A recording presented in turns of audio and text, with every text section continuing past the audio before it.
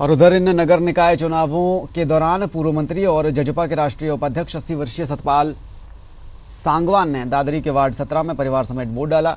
इस दौरान उन्होंने बूथ कैप्चरिंग के आरोप भी लगाए और ऐसा करने वालों पर कार्रवाई की मांग उठाई। साथ ही उन्होंने अग्निपथ योजना को युवाओं के साथ मज़ाक बताया। वोट डालने के बाद सांगवान ने कहा कि उन्होंने कई चुनाव लड़े, लेकिन कुछ लोगों द्वारा हर बार बूथ कैप्चर किए जाते हैं, जो इस बार भी किया गया है। उन्होंने मांग की कि इसको लेकर प्रशासनिक अधिकारियों को भी जानकारी दी गई है।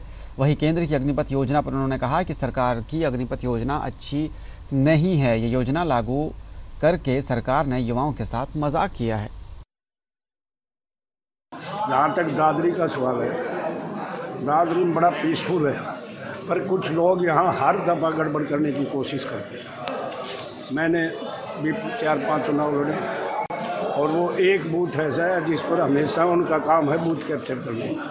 और वो आज भी कैप्चर कर रहे थे लोग जो है ना वहाँ कुछ पार्टियों ने धरना भी दे थे नहीं तो दादरी जैसा शांत पीढ़ी एरिया कहीं नहीं और बढ़िया ढंग से जो है ना वोट गिरते ये वोट गिर दी तो राम राम मैं, और मैं जो है ना, मेरा सिस्टम राजनीति का मैं कहीं कोई मीटिंग नहीं, जहाँ तक अगली पथ का सवाल है।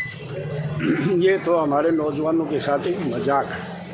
क्योंकि चार साल के बाद कहाँ जाएँगे वो? कोई है जगह चार साल के बाद?